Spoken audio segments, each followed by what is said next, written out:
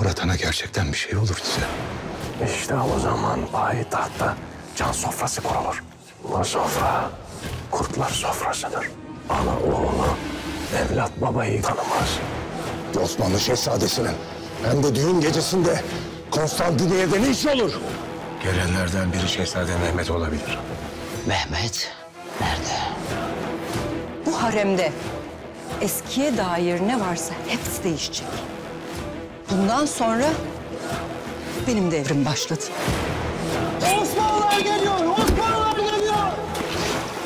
Bir Osmanlı şehzadesi şehrimize girip istediğini yapıp elini kolunu sallayarak gidiyor. Osmanoğlu bize yaşattığı utancı daha büyük bir acıyla ödeyecek. Hekim çağırın.